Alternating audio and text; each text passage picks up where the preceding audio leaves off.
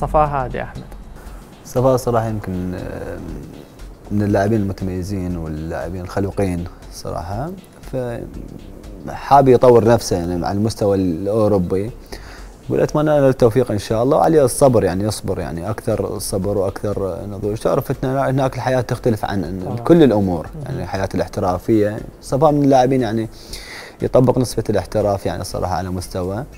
أتمنى له التوفيق إن شاء الله ويعني يحسن يعني من كثير من الأمور اللي موجودة عنده. إن شاء الله. الصورة الأخرى.